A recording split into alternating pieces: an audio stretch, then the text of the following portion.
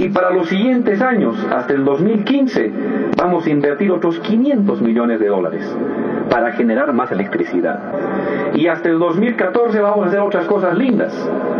Vamos a hacer turbinas en Vallehermoso, más motores en Kenco acá, otra turbina en Bulo Bulo, Misicuni.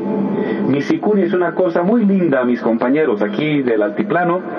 Misicuni es una represa del agua de los ríos lo vamos a guardar en una represa, el agua se va a acumular en esa represa y en lo que cae el agua ahí con eso vamos a generar electricidad.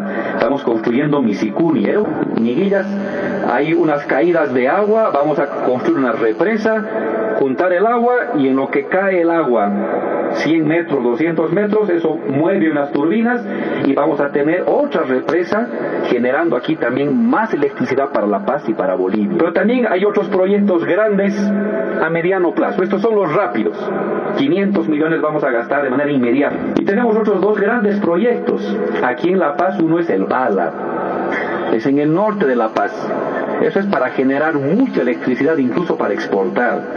Y otro gran proyecto es en el Beni, que se llama Cachuela Esperanza. Esos son megaproyectos que queremos generar electricidad para que toda casa en el campo, en la ciudad, en la población, en la comunidad, tenga su luz. Estamos cerrando esta campaña. Hemos hecho buenos ahorros, ahorros para el Estado. Hemos reducido consumo de electricidad